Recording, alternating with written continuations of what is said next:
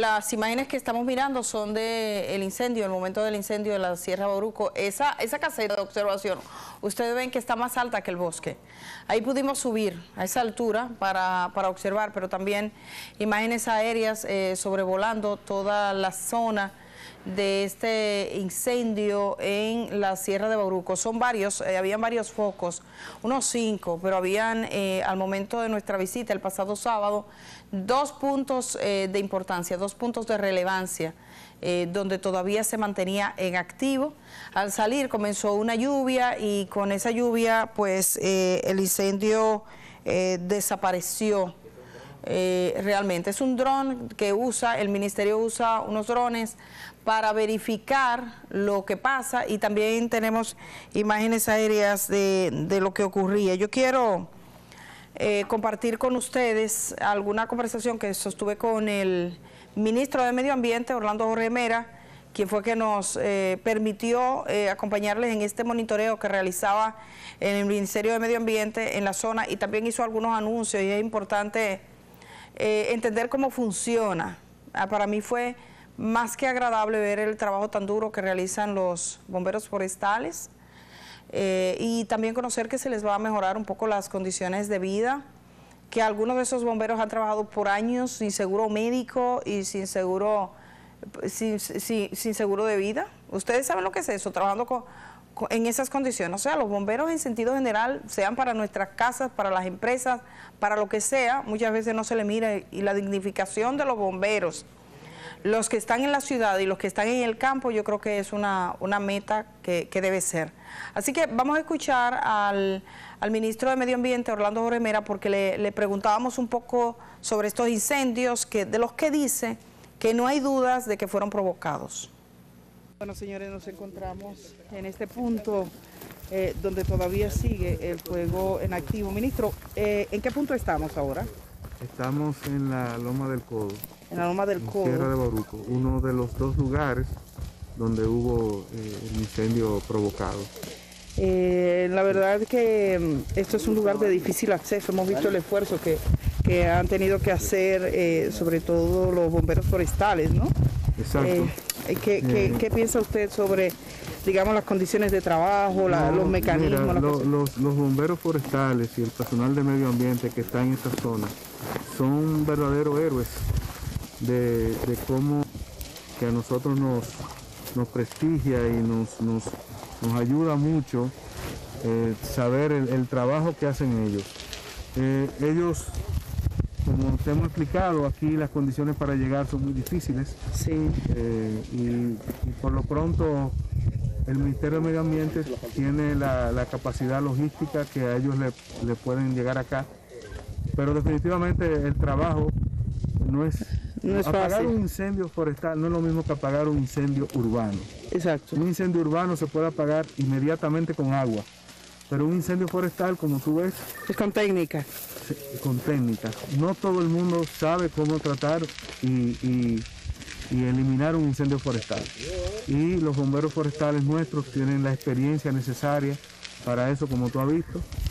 Eh, y lo importante, y estamos concentrados, es en en extinguir estos tres incendios para luego entrar en la parte que tiene que ver con las responsabilidades penales de quienes, han hecho este crimen. No hay duda de que esto fue provocado.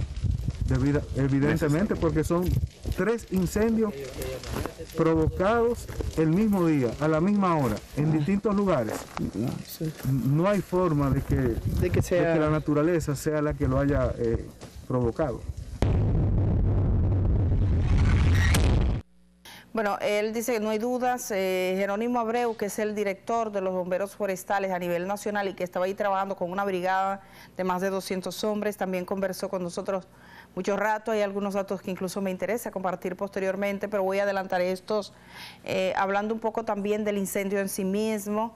Y dijo que el único momento en que la naturaleza, digamos, podría provocar un incendio es con una descarga eléctrica que no ocurrió. Ese mirador, desde donde ustedes vieron que estábamos, eh, permite también a los, eh, a los que están ahí eh, de guardabosques y demás observar todo el entorno y ver si hay humo, avisan y así se van detectando y ahora lo hacen también con drones para verificar, para verificar la, zona. Jerónimo Abreu, eh, director del Cuerpo de, de Bomberos Forestales del Ministerio de Medio Ambiente, nos habló. Yo quisiera compartir con ustedes lo que nos dijo. Usted puede ver el tronco grueso, cómo está más eh, quemado de este lado que de aquel lado. Ajá. Eso es porque el fuego venía de allá para acá. Esa parte ahí fue con el contrafuego. Sin embargo, por ejemplo, este, esta parte ya fue el fuego principal que lo que le dio. Sí. O sea, fíjese que está más bajito quemado aquí y más alto aquí, porque la llama viene y se concentra aquí, o sea, hace una, una especie de, de- de turbulencia y quema más de lado hacia donde va el fuego. Normalmente cuando queremos determinar el punto exacto donde comenzó un incendio, lo que hacemos es eso, seguimos la huella del, del fuego. Ah, Incluso la- la- la- los mismos árboles pequeños van marcando, o sea, ¿Hacia porque dónde? se quema, se deseca primero donde le da el, el calor y va marcando la ruta hacia donde va el fuego. ok.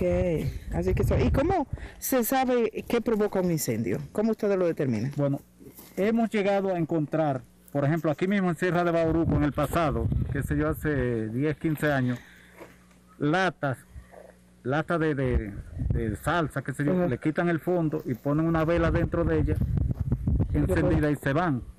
En Valle Nuevo también una vez encontramos esa- esas evidencias.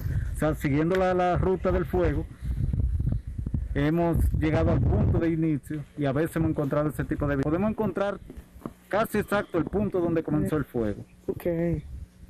Pero cuál fue el origen, o sea, cuál fue la, la- la intención del fuego, eso no podemos precisar. Por ejemplo, aquí en estos casos hay varias versiones de qué pudo haber sido la, la- lo que motivó ese- que, que le pegaran fuego en tantas partes, pero todas son especulaciones. O sea, entonces no En podemos su- decir que fue por esta o aquella razón. En su vida profesional, ¿usted se ha encontrado con gente reincidente, pirómanos que dicen que a veces... pirómano- el término pirómano, pirómano se refiere a un, te- a un tema ya patológico. Exacto. ¿Usted ha Sí, hemos encontrado eh, Personas en San. José de las Matas, entre San José de las Matas y Monción hemos encontrado personas con esa, ese problema mental, porque los que lo hacen así tienen problemas mentales.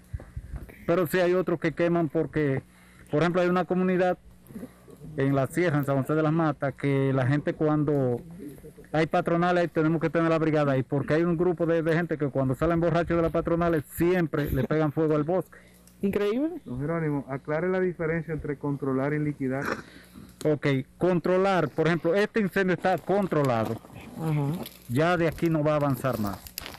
Liquidar es cuando ya no hay ningún punto de, de- de fuego activo. Exacto. Entonces, por ejemplo, nosotros qué hacemos? Controlamos, establecemos la línea y liquidamos un perímetro que nos asegure que ninguna chispa va a saltar. Ya, por ejemplo, esta parte, aquí hay lugares donde es imposible cruzar. O sea, caminando no se puede cruzar de un punto a otro. Esa parte la dejamos activa, pero controlada. Exacto. Extinguido es cuando ya no hay humo ni hay punto de calor. Ustedes, eh, como hay puntos tan distantes, ¿cómo ustedes se percatan?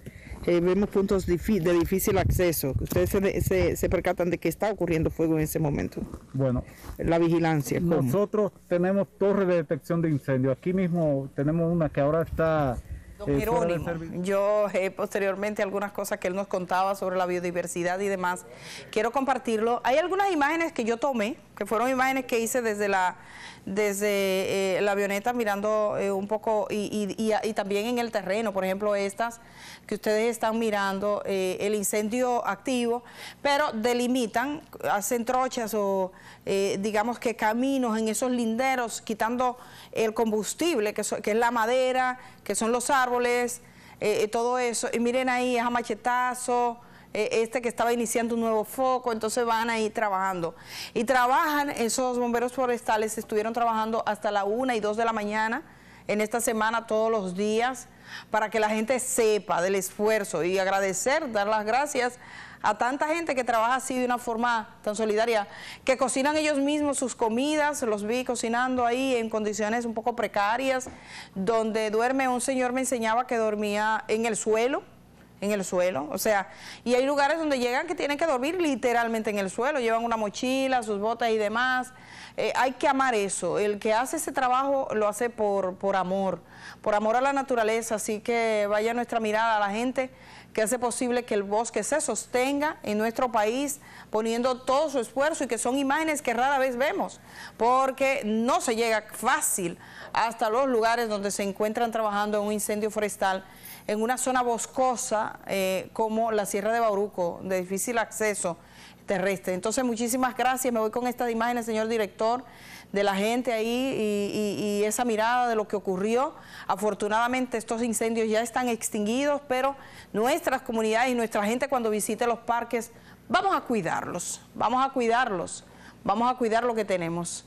Hasta eh, mañana agradezco al Ministerio de Medio Ambiente que nos dio esta posibilidad, a Amelia que también estuvo ahí. Y mañana es otro día para seguir contando parte de nuestra historia. Señores, pasen un feliz día. Nos encontramos de nuevo acá.